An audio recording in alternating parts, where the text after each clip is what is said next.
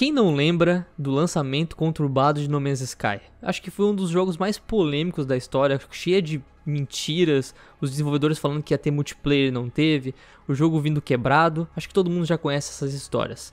Mas depois de um tempo, os desenvolvedores começaram a melhorar o game e a gente já teve uma atualização grande e recentemente chegou a segunda grande atualização de No Man's Sky chamada Beyond. E essa atualização, cara, foi falada pelos desenvolvedores que seria a grande atualização do jogo, que essa atualização era para ser o, o, game quando lançou era para ser como é hoje. Só que os fãs estão, eu diria que extremamente putos porque tá cheio de problema e o jogo veio quebrado essa atualização e muita coisa que estava consertada voltou a dar problema e a galera tá começando a negativar bastante o game e a gente vai contar essa história para vocês hoje. Galera, quem fala com vocês é o White e hoje eu não estou com o Lion, mas eu estou com o Sidão do game, nosso amigo Sidão, e a gente vai contar para vocês essa história. E aí, Sidão, como é que tá? E aí, White, tudo bem? E aí, galera da Central, como é que vocês estão? Né, vamos conversar aqui de um jogo que eu já falei bastante no meu canal também, né, White? Sim. Sempre atualizando sobre os problemas dele, mas devo admitir que essa atualização Beyond, cara, foi, eles marketaram tanto ela, né? Que foi Sim. o que me fez eu voltar ao jogo. Na época que lançou em 2016, eu joguei um pouquinho só. Só para dar aquela, aquele gostinho e ver que não era aquelas coisas, né? É, tava bem essa... ruim. Exato. E aí com essa Beyond eu voltei a jogar o jogo agora. Eu voltei a jogar ele no PC, tô jogando na Steam. E já tô com umas 10 horas de jogo e tem algumas notícias para dar aí junto com o White, né não? É isso aí. Galera, seguinte, para contextualizar vocês, essa atualização como eu falei para vocês, eles estão prometendo muito, dizendo que o jogo vai melhorar muito, que é gigantesca. Só que a galera foi na Steam e começou a reclamar muito dos problemas que aconteceram. E são problemas extremamente graves, não são coisas simples. São coisas como, por exemplo, se dão é crachar o save. Vamos fazer o seguinte, é melhor que você que está jogando nesse exato momento Conta pra gente algumas das coisas mais absurdas assim que aconteceram com você. Então vamos lá, cara, que a lista é pesada.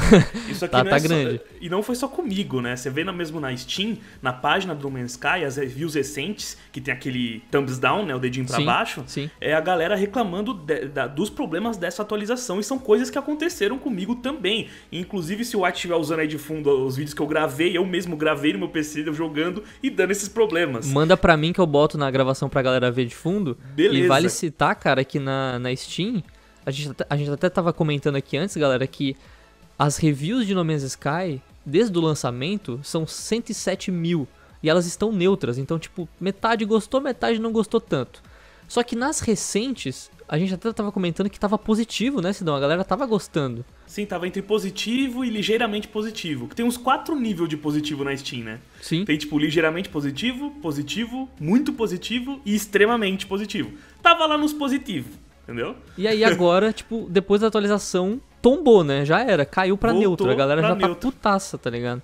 Exato. Então, assim, conta aí pra gente, Sidão, como que foi os problemas e o que, que mais te incomodou até o momento. Então, vamos lá. Tem aqueles bugzinhos mais leves que não pesam tanto, mas ainda assim fazem a gente pensar, pô, vocês não consertaram algumas coisas assim desde 2016, é foda, né? É, por exemplo, complicado. tem vezes que tem os NPCs em bases, os alienígenas que estão andando por aí, né? Sim. E eles começam a andar de um lado pro outro em posição T. Sabe aquela posição que é pros caras posicionar o personagem dentro do jogo durante o loading, basicamente? Uhum. Que não é pra gente ver. Então, eles estão em posição T e saem deslizando pelo cenário, entrando dentro de cadeiras, sabe? Tipo, umas coisas bizarras assim. Outros problemas também vêm quando você tá vendo um grupo de animais na sua frente e de repente somem, tá ligado? Todo mundo desaparece de uma só vez. Então o jogo tá com problema de renderização completo, assim. Isso, e delay de render também. Tem hora que você carrega, demora uns 10 segundos pro, pra textura realmente carregar do seu personagem, do planeta e tudo mais. Uhum. Só que os piores problemas, cara, sempre, qualquer bug, bugzinho por engraçadinho, beleza. Ah, engraçadinho, olha ali, o animal bugou, voou, Ah, deixa eu postar okay. no YouTube aqui pra rir um pouquinho. É, isso aí, compilação de bugs, beleza. Agora, bug que atrapalha progresso, esses são fodas. E o que, que tá acontecendo aqui que tá deixando a galera louca? São dois principais problemas. Um deles é que o jogo tá crashando muito, seja no PC ou no console. Eu aqui, cara, nessas 10 horas que eu joguei, já crashou mais de 10 vezes, sem brincadeira, e com vários motivos diferentes. Às vezes tô jogando, tô voando e pá, simplesmente o jogo fecha, e muitas vezes eu caio naqueles limbo. Sabe quando você passa Uhum. por debaixo do cenário e vai pro infinito? Sei. né?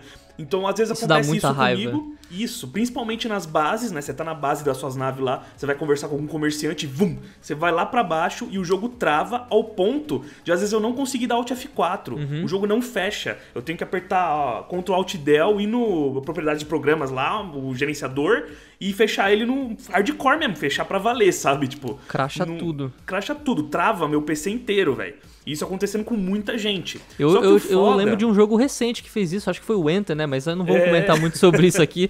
Entre quando eu joguei no lançamento também crashou bastante pra mim, cara.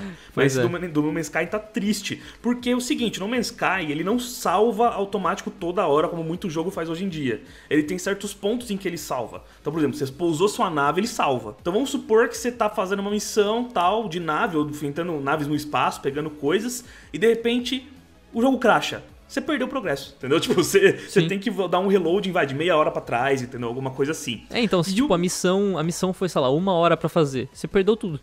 Já era, você perdeu toda a Mano, missão, se, velho. é, se é comigo, eu fecho o jogo e vou jogar outra coisa, velho. Na moral. eu- eu Então, não e outro problema é que esse aqui é foda. Aconteceu comigo uma vez, só que com meu amigo aconteceu umas três.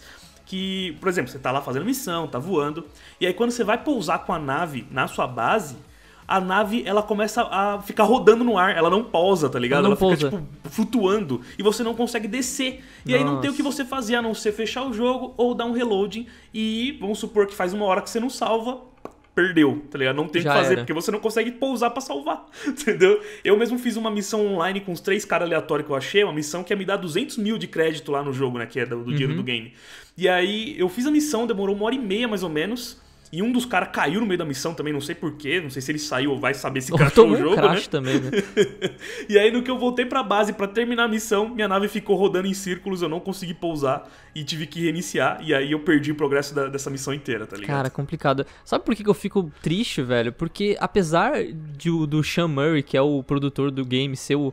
A gente já fez um vídeo aqui, se não, depois você assiste, é bem engraçado, que é o maior mentiroso do mundo dos games, que é o Sean Murray. O cara mentiu dizendo que o jogo ia ter multiplayer, aí chegou no dia do lançamento, duas pessoas se encontraram, ele tinha citado, né, que... Ai, o mundo é tão gigante, é tudo procedural, você tem tantos planetas que nunca vai ter a... a- é muito difícil você encontrar outra pessoa no multiplayer. E aí, duas pessoas estavam no mesmo lugar no dia do lançamento na Twitch e não se viam, tá ligado? E aí foi descoberta a mentira do, da galera do No Man's Sky. Mas assim, eu fico triste por quê? Porque os caras, eles arrumaram o game. Esse game é aquele incrível exemplo de uma produtora que fez cagada no lançamento, mas foi lá e arrumou, cara. E eu fico feliz que eles fizeram isso. É o mínimo que eles podiam fazer. Sim, por mais que tenha problemas, igual eu estou tendo muitos, isso realmente faz a gente virar o olho, né? Tipo, puta Sim. merda, precisava ter esse problema ainda. Mas ainda assim, por outro lado, cara, eu tô me divertindo. Eu tô jogando há 10 Uhum. horas já e quero jogar até o final. Eu tô achando interessante. Tá sério, é uma proposta realmente diferente que no Man's Sky tem. E ele tem muito conteúdo. Isso é inegável. Tem muita coisa pra se fazer. E eu me vejo passando das 30, 40 horas fácil nele. E a gente fica triste, né, por, por essa atualização vir assim, sendo que os caras deram duro ali pra, pra consertar o game. Apesar de não concordar com algumas coisas dos produtores, por exemplo, eles falaram ali na época ali que tava tendo muita controvérsia contra Fallout 76, Anthem, que os desenvolvedores deveriam ficar calados e não falar nada, não dar satisfação para o público. Isso eu acho totalmente errado. Eles têm que dar satisfação sim, porque a galera pagou pelo jogo e ela merece, né, ter um feedback pelo menos do que vocês estão fazendo pra consertar as coisas que estão erradas.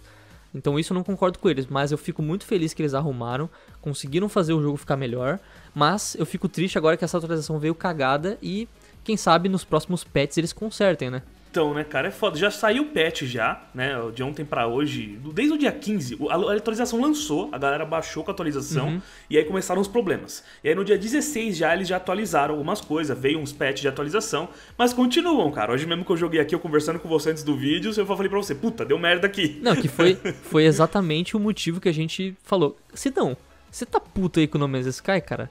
E a galera aqui, a gente foi, foi ver as análises do que a galera tava falando, tipo, no, na Steam, nas, nas reviews ali de recomendação, e falando, pô, a galera tá reclamando um monte, velho. Vamos ver o que, que tá acontecendo.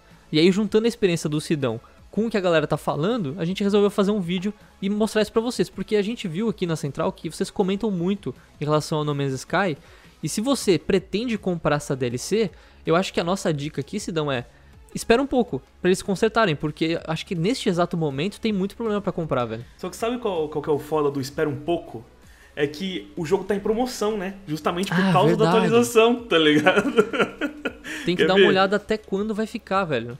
Ó, 21 de agosto. Então vamos torcer pra eles corrigir até dia 21 de agosto, né? Porque o jogo tá metade do preço, cara. Quatro dias pra, pra consertar. O jogo tá quanto? 60 reais? É, na Steam tá 65 reais. Não sei É, quanto tá, tá um console. preço. eu- vamos falar real, eu acho que é, comparando aí custo-benefício em relação também de tempo de jogo, gameplay, como você disse, o jogo tem muito conteúdo. Mesmo que está tendo alguns bugs, se os caras já consertaram uma vez, tá todo mundo confiando que eles vão consertar de novo. Então eu acho que até vale aí um risco de comprar porque o jogo tem bastante conteúdo hoje em dia, né? É, aquilo, cara. Se eu mesmo assim, mesmo com esses problemas, tô com vontade de ligar o game de novo, é porque tô fazendo Sim. algo certo, né? Entendeu? Sim. Tipo, se não, se fosse um saco e aí desses problemas, aí eu não estaria mais jogando. Entendeu? Sim. Mas Não, eu tô concordo. curtindo, tá ligado? Tipo, o jogo crash, eu falo, ô, puta que pariu, mas vamos lá de novo. Aí eu abro o jogo de novo É. e continuo jogando, O, entendeu? o Sidão não é masoquista, ele me falou isso antes. Não, eu não sou mesmo, cara. Se o bagulho é ruim ainda não funciona, tchau, tá ligado? Não, eu Mas compreendo, como compreendo. o negócio tá sendo bom e esses problemas eu acho que serão corrigidos, pelo menos eles estão mostrando que estão querendo corrigir. Por exemplo, no dia que saiu a atualização, eles já tweetaram: Ó, galera, estamos cientes, o bagulho tá tenso, mas vamos corrigir. Então, ou seja, eles, né, eles já, eles já estavam cientes que o bagulho ia sair zoado, entendeu? Que saiu zoado, né? Sim. Mas vamos ver o que vai ser. Eu acho que, pelo menos no preço que tá hoje, tá valendo a pena. Eu joguei só 10 horas, né? Mas a minha experiência até agora foi bem interessante. E eu acho que eles vão corrigir, cara. Então, se, o se a pessoa quer comprar e esperar, né, corrigir, também vale, né? Promoção tá aí, né? Não custa nada, né? E acho que 60 reais por um jogo desse tamanho, eu acho que é um preço justo. Pelo que eles já fizeram pelo game. Sim. Sim. Só que é foda vir com esse, esse recheado de problema, né, cara? Isso que é complicado. Então é isso, galera. Essa é a atualização do No Man's Sky.